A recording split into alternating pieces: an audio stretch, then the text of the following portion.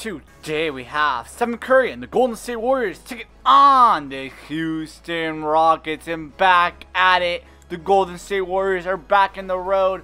Klay Thompson slamming it down. It's good. Klay finishing with 29.7 rebounds and 1 assist. Look at Draymond slamming it down. Curry finishing with 30.7 rebounds and 5 assists.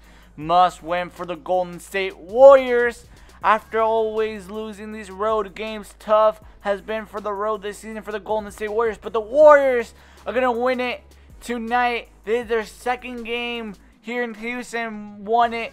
But look at Chef Curry. Finishing a tough shot. It's good for Chef Curry.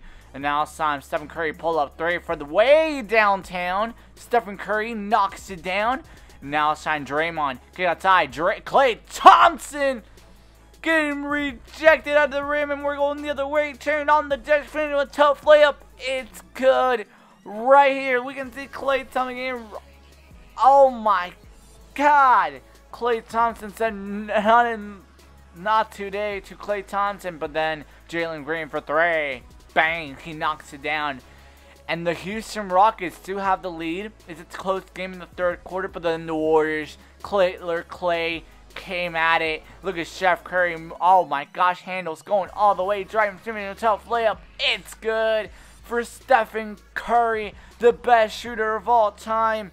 The man, the legend, Stephen Curry. Now some Kuminga Chef Curry for three, side, bang! What a shot from Stephen Curry. He is loving it. And now Simon Jordan Poole going all the way. Oh, what a pass to Kuminga. Slamming it down and Looney, Draymond, Killer, Klay in the corner to seal the deal. And that is it. The Golden State Warriors snap the losing streak in the road. Don't forget, like and subscribe.